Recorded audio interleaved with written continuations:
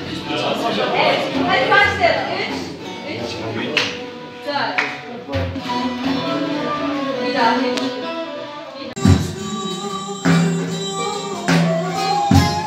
Yeşil ağ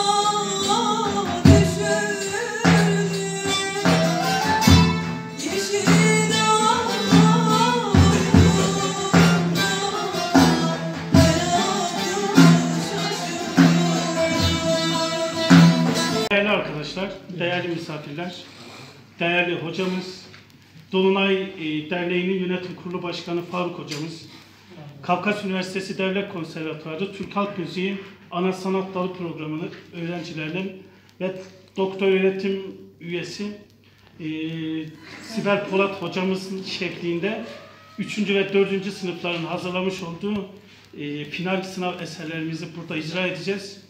Onun sonrasında istek parçalarınız da olursa onları da icra etmeye çalışacağız.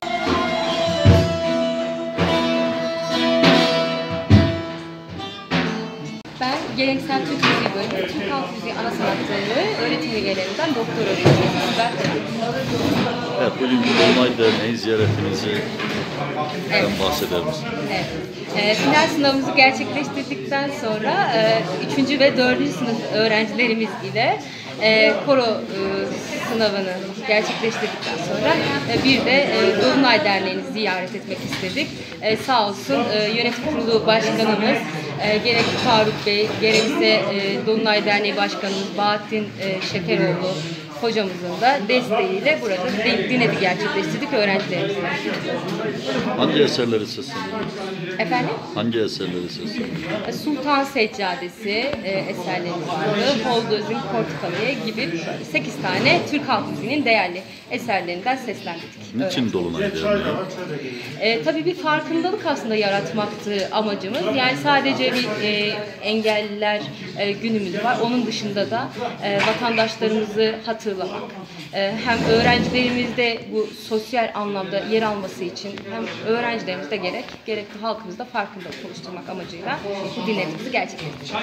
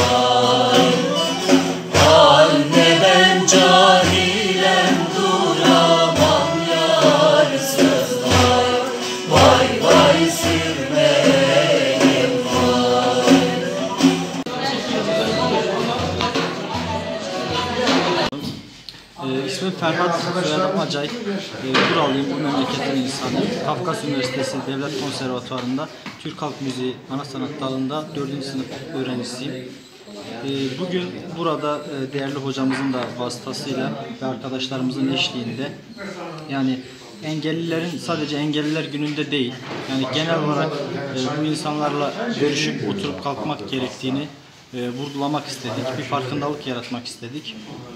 Ee, şöyle ki şöyle ki Nasıl, e, program nasıl geçti? Ee, yani bizi çok hoş karşıladılar. Sağ olsunlar. Ee, güldük, eğlendik, güzel türküler söyledik.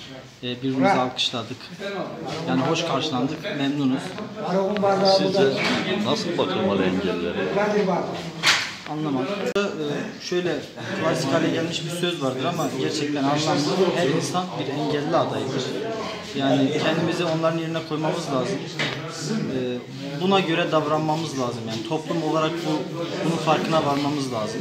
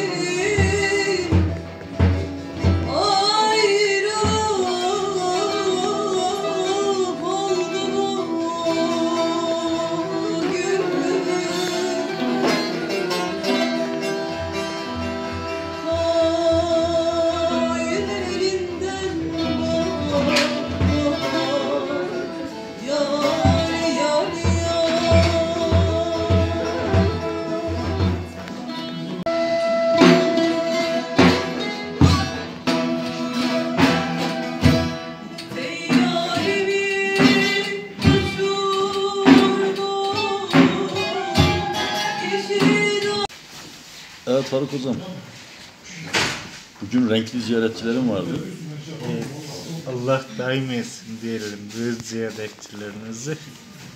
Böyle bir günde, böyle bir akşamda bizleri biraz hüzünlendirip daha çok mutlu eder. Konservatuar öğrencisi 3. ve 4. sınıf arkadaşlarımız ve hocamıza çok teşekkür ediyoruz.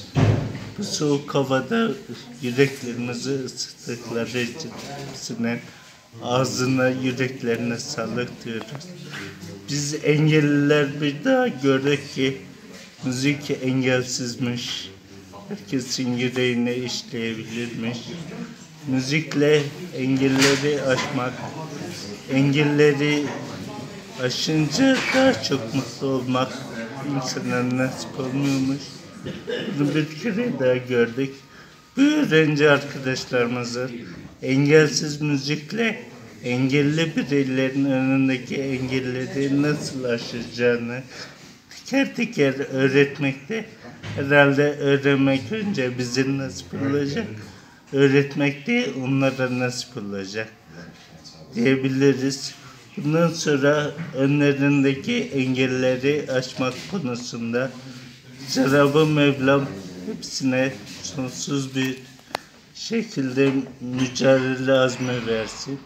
Ve bizler Dunay Derneği olarak öğrenci arkadaşlarımızın şu anda önlerine çıkan engelleri teker teker aşmak için elimizden gelen gayreti göstereceğimizi söyleyebiliriz.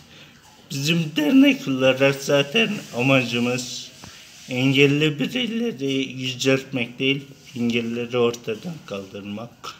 Bu hususta engelli olmak isteyen kim olursa olsun önce müziğin engelsiz olduğunu öğreterek bu kişilerin engellerini ortadan kaldırmaktır. Çünkü toplumumuzda engelli olarak bizleri görebiliyor ama bizler gerçekten engelli olan vicdanlara sahip insanları görebiliyoruz. Bugün bu insanlar vicdanlarına sahip olsalar sokak çocukları veya sokak köpekler dediğimiz kavram ortada olmaz. Her birey e, elinde kendine muhtaç olan canlıya bakmasını bilirdi. Bu vicdanı yoksunluk bizim asıl görevimiz. Mücadele ettiğimiz nokta buradır. Tekrardan bütün öğrenci kardeşlerimize teşekkür ediyoruz.